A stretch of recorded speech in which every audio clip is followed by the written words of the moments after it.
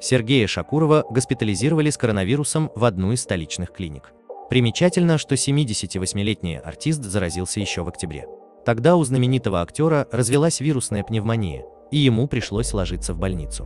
В конце октября Шакурова, чье состояние удалось стабилизировать, отправили на долечивание на домашний карантин.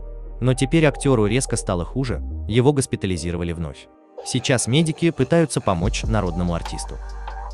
Примечательно, что на днях Первый канал транслировал новый выпуск шоу «Ледниковый период», где в жюри как раз заседал Сергей Шакуров.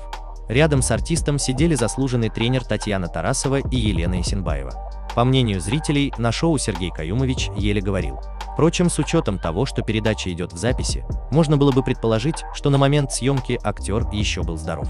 Однако артист, как сообщалось выше, сражался с коронавирусом еще с октября, поэтому, как отмечают в сети, прочим членам жюри будет не лишним сдать тест на опасную инфекцию.